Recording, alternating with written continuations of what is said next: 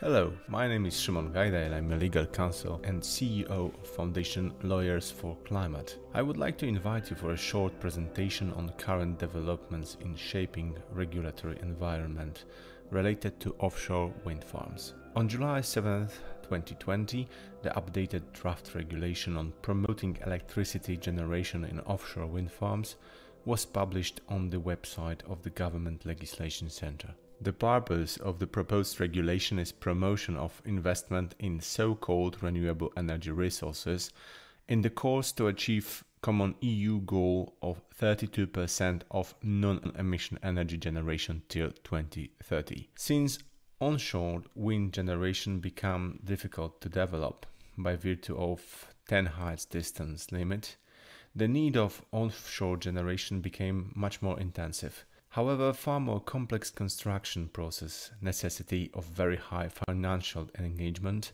as well as many other factors related to the commercial exploitation of Baltic Sea shelf, make such investment problematic. This is the reason why there is also need for complex regulation, which is awaited by several important investors, in particular those who are advanced in the investment process. I would like to present a handful remarks on draft regulation on current stage of legislation. It is worth to mention that it is very close to final wording. However, some derivations may occur. Such prediction is justified by influential remarks presented so far by President of Energy Regulation Authority as well as government's attorney for strategic energy infrastructure Mr. Piotr Naimski and transmission system operator. The draft regulation relates to several areas, including state aid for offshore wind farms, further called OWF, rules of investment process, including permitting rules and conditions of OWF grid connection, specific tax rules for OWF, and conditions of, OWF exploitation. There are also several other miscellaneous areas, as well as important regulatory changes in existing regulations. Among most important are draft amendments in the Act of Maritime Areas of the Republic of Poland and Maritime Administration, as well as Maritime Security Act and Energy Law. There is no doubt that rules and conditions of state aid are the most important part of the drafted act not only because they constitute about one third of it, but also it is more than obvious that there is no wind farm investment process possible without such an aid. Current legislative discussion initiated by Mr. Piotr Naimski and Polish transmission system operator, as well as President of Energy Regulation Authority, focus on the very important grid connection aspects as well as ownership of the grid infrastructure that will accompany wind farms. There are also proposals of better compatibility of OWF investment process with TSO's grid development plan and security of energy supply. Whole regulation is complex and exhaustive to very far extent, that was emphasized by many experts in panel discussion on latest event Development Vision Forum in Gdynia. In my short presentation, I will focus mainly on several aspects important from the point of view of investment process. However, this will be only a chunk over the whole regulated matter. The proposed separate support system for OWF is based on model of contract for difference, which is known from General Renewable Energy Resources Support System. In general, the amount of support will be calculated as a difference between the price set in decision issued by regulatory authority or offered during auction and product of the market price of energy and amount of produced energy. If the market price of the energy falls below the zero, the amount of energy that entitles to the state aid equals zero. Such a mechanism was implemented in order to discourage OWF energy producers to produce energy when there is no market demand. The basic condition to obtain coverage for negative balance is duty to produce and insert to the grid the agreed amount. However, there is also exception from that condition. The state aid is also granted when the OWF operator notices regulatory authority about lack of possibility to fulfill the obligation to produce electric energy. However, the operator must start production within 24 months since previously set term. It is important to mention that the support system is divided on two stages. The first one, based on discretionary decision of regulatory authority, is available to OWF operator who will take the duty to start production before 2030. The second system, based on offering during electronic auction organized by the authority, will be available to the all operators. Both systems grant support in the same amount and the same period on 25 years. However, there are also important differences in respect of procedure and scope of information and project documentation which is necessary to be provided.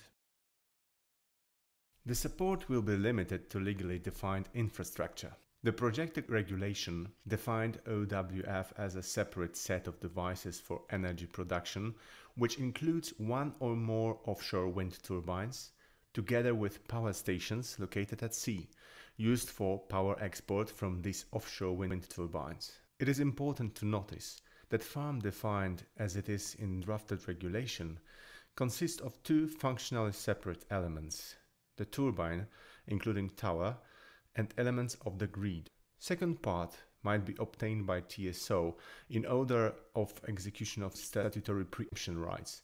There is also proposal of amendment to the draft regulation submitted by Government Attorney for Strategic Energy Infrastructure to supplement preemption rights with option call for TSO. This proposal is also followed by proposal to change definition and exclude from the definition devices on the transformer high voltage side or transformers located at the station. And set of devices used to take off the power from an OWF and uh, to an ownership limitation point. In case the ownership limitation point is located at power station situated onshore. It is very possible that definition of OWF will differ from currently proposed in draft because second important consulting authority responsible for energy market regulation also presented significant remarks in that matter. It should be emphasized that apart from important ownership and capex issues, definition may have important impact on the scope of the state aid. There is detailed mechanism of deduction of the price set in decision or offer by the amount of investment aid. The price paid by TSO in case of obtaining grid elements shall be regarded also as part of the investment aid. The state aid of for OWF shall be also limited to installations located in the specific area. There are eight areas described in appendix to the draft regulation by specific geocentric and geodetic coordinate. The support system is also limited to specified total amount of OWF installed power, which should be understood as a total nominal power defined by the producer, calculated in conditions accepted for rated conditions. Total limit of support for all OWF is limited to 5.9 gigawatts in discretionary decision system and to twice 2.5 gigawatts in 2025 and 2027 auction. There is also other amount limitation of total support granted to separate OWF. The total amount of electric energy which entitles the producer to granted contracted difference shall not exceed product of 100,000 hours and total installed power of OWF. In case of difference between amount of installed power declared in concession for energy production and decision on negative balance coverage, the lower amount prevails. What may have important impact on investment process, the state's support is limited to wind turbines produced not later than 72 months before first energy production day and were not subject to depreciation in meaning of accountancy rules. That condition de facto eliminates possibility of reuse offshore turbines. The draft regulation also puts investment process under time pressure. It derives from necessity of providing detailed time schedules to regulatory authority as well as fulfill obligation to commence energy production on the designated day. It also gives better position to operators who will submit an application for support or offers during the auction earlier. During administrative procedure, if the operator will submit application for support that will exceed total supported amount, the regulatory authority will provide the operator with notice and in such a circumstance he will have 21 days to change original application. Failure in submission of amended application will result with denial of support. The application submitted after date specified in Article 108 of the draft regulation, which enters into force on 30 June 2021, will be rejected.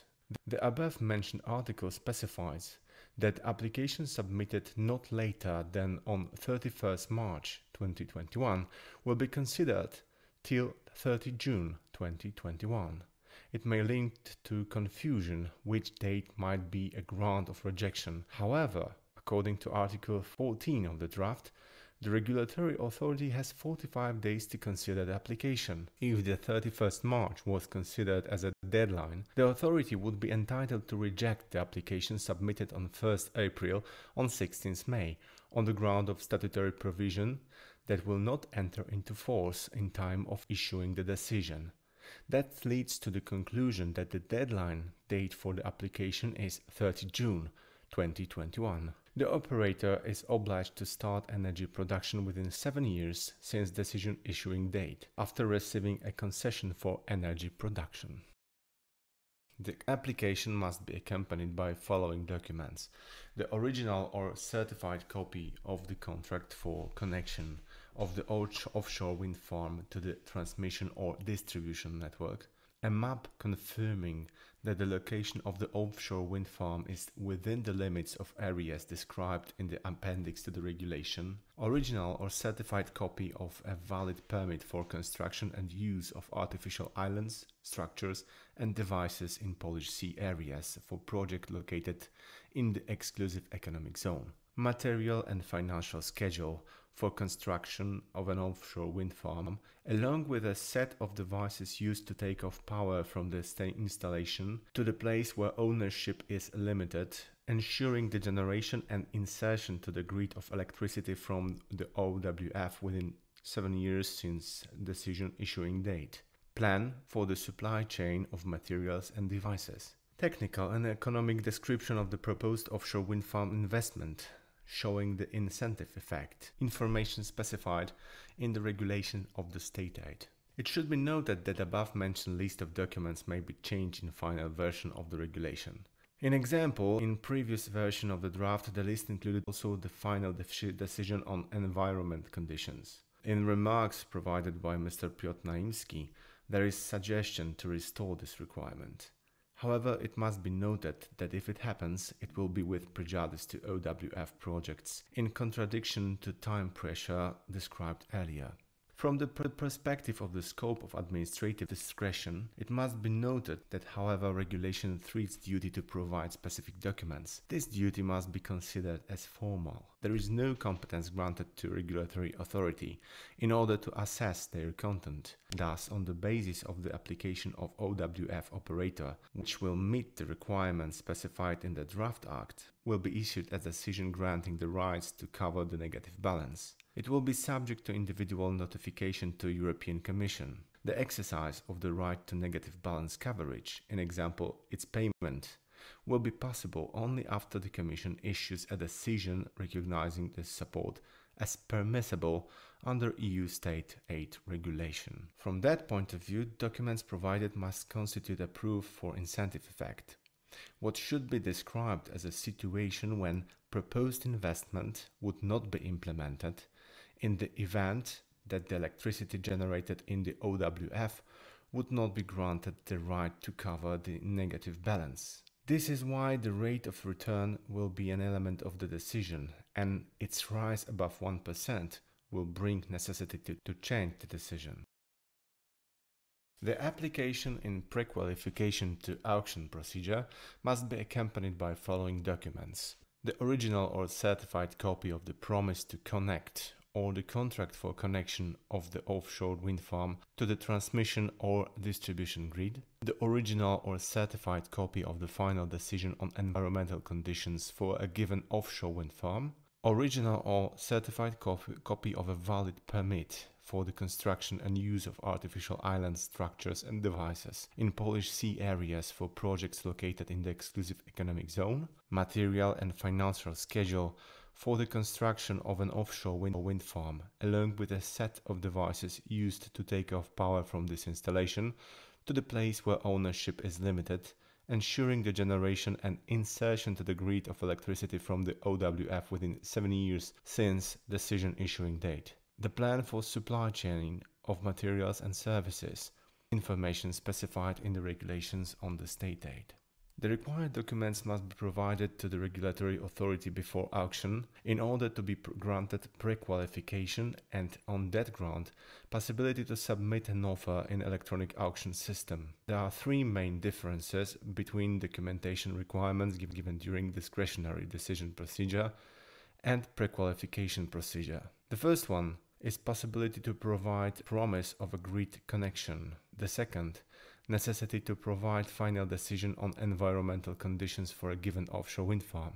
And the last one, a lack of duty to provide technical and economic descriptions of the proposed offshore wind farm investments showing the incentive effect. Draft regulation introduces two new obligations for OWF to stimulate the development of the local supply chain. In order to stimulate domestic industry providing equipment and services for the construction of the farms. First, in the process of applying for the right to cover the negative balance, in the first phase of the support system or in pre-qualification to the auction, generators will be required to present a supply chain plan for materials and services in the offshore wind farm construction and operation process.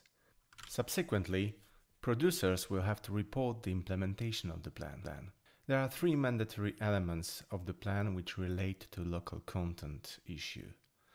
First one, description of the share of investments that are to be incurred by the OWF operator or entrepreneurs belonging to the capital group to which the operator belongs for the benefit of entities with a registered office or branch in the territory of the Republic of Poland in the total investments for the construction or operation of an offshore wind farm.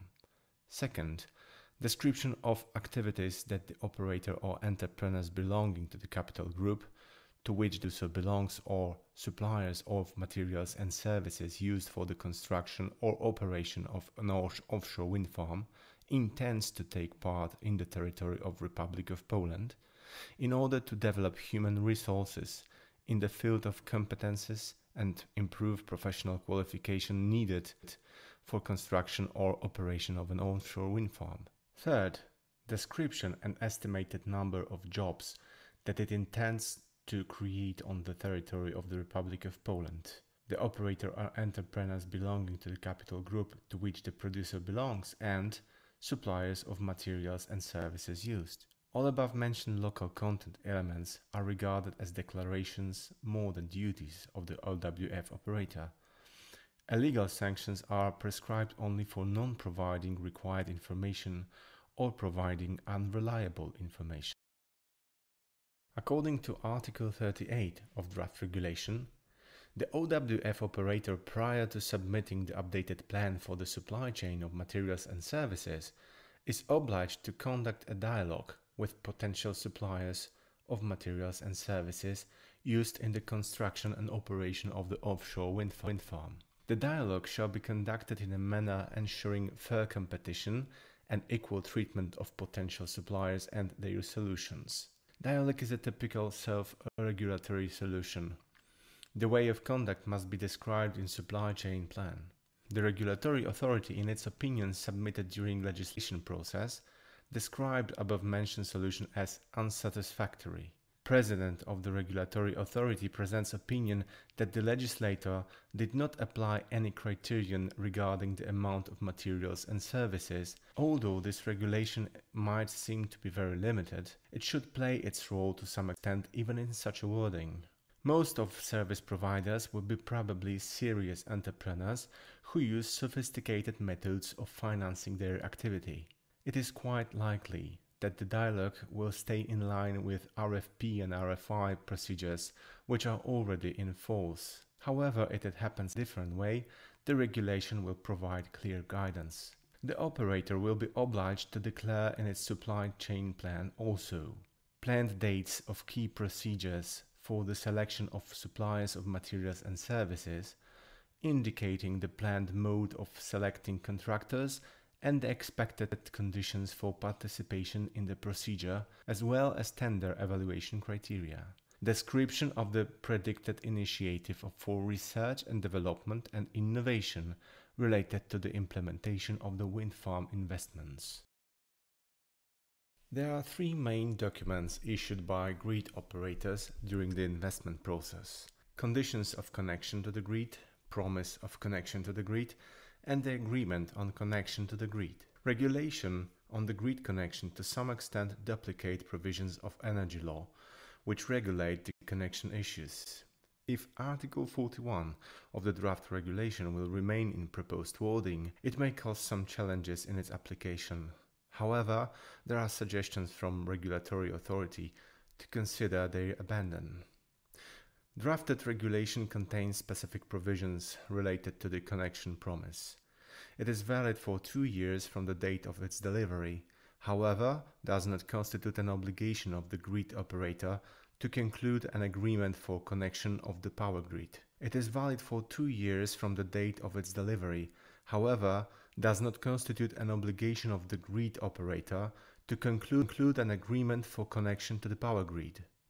Document of the promise might be important in the auction pre-qualification procedure. However, the regulatory authority emphasized its weak character and lack of proper legal protection of justified interest of OWF operator. When OWF operator is granted right to cover negative balance, the promise ex lege becomes the conditions of connection which are valid for two years. The grid connection agreement in respect of OWF provides better legal protection according to termination rules. In particular, failure to deliver electricity generated in the offshore wind farm for the first time to the grid within the time limit specified in the connection agreement shall not constitute grounds for termination of connection agreement if it occurred as a result of valid regulations of generally applicable law, the need to ensure the safety of the, of the power grid operation, failure in the power system,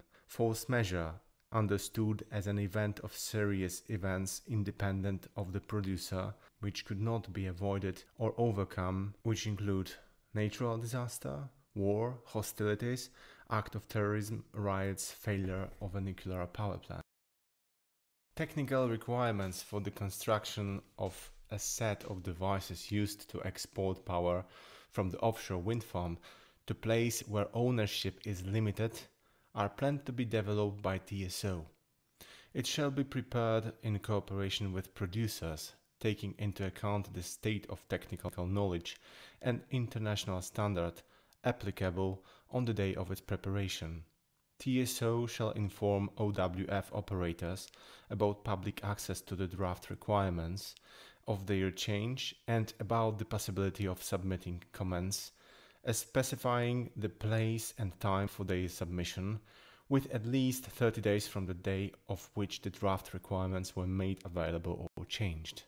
In opinion of regulatory authority, the grid connection rules proposed in the draft, including the, in particular the need to develop individual technical requirements by the TSO for each installation agreed with the President of the Energy Regulatory Authority, should be changed and based on the solutions adopted so far. Transferring this type of solutions to the level of individual arrangements, including the right to regulatory interference, may lead to be observed in practice as a situation of year-long disputes between the interested parties. Although there are some doubts in respect of procedure, the scope of requirements that will be necessary to be issued shall probably remain unchanged. It is worth to mention that telecommunication systems required for OWF should guarantee the transmission of the data in real time. It might be a challenge in maritime environment. OWF in terms of design, construction, operation and decommissioning shall meet uh, requirements that ensure safety of the structure and construction in terms of strength, bearing capacity and stability, fire safety, safety of use, environmental protection, operational conditions suitable for the purpose of various types of devices and structures or installations included in the offshore wind farm. The above mentioned requirements shall be certified by reputable organization, which is accredited according to ISO provision 17065 and authorized by Ministry of Maritime Affairs. Such an organization will be authorized to issue Design compliance certificate issued after the construction design had been developed prior to the commencement of construction works related to the construction of an offshore wind farm, certificate of admission to operation issued after the completion of the construction of the offshore wind farm or its part, confirming the compliance of the construction process with the construction design and the design compliance certificate referred to, point, to in point 1, no later than 30 days before the planned date of the first generation of offshore electricity, the wind farm or part of it, and safety certificate issued for a period no longer than 5 years starting from the date of issue of the certificate referred to in point 2 re requiring renewal for not earlier than three months before its expiry date, confirming completeness of the documentation for the proper ma maintenance and servicing of the offshore wind farm. The above mentioned regulation was contested by Mr. Piotr Naimski who suggested that all certification services should be provided by Technical Inspection Authority. In order to accelerate the construction and starting operation of offshore wind farms, and thus to supply the Polish power system with large amounts of clean energy produced in zero emission installations, draft regulation provides some modification to administrative procedure necessary for the efficient conduct of investments in the construction of OWF. First of all, a set of decisions explicitly mentioned in the draft regulation will become immediately enforceable. Next, in the proceedings before an authority of higher degree and before an administrative court, the decision, decision referred will not be subject to declaration of invalidity in full if only a part of the decision concerning offshore wind farm is affected by the legal defect. The NGO will be entitled to participate in the administrative procedure if it has been entered into relevant register at least one year before the organization filled a request to allow it to participate in the procedure. And last but not least, draft regulation provides mechanism of additional time pressure on own administrative authorities. According to Article 69.7, about each case of failure to issue the decisions referred to earlier, as well as the failure to consider those decisions, the authority competent to consider the case shall notify the parties the, uh, of the proceedings and the ministry competent for climate matters, giving the reasons for delay and indicating a, a new date for setting the matter. The authority competent to consider the case shall also notify the Chief Inspector of Building Supervision, stating the reason for the delay and indicating a new date for setting the matter of each case of failure to issue a decision on a building permit or use permit. Thank you very much for your attention.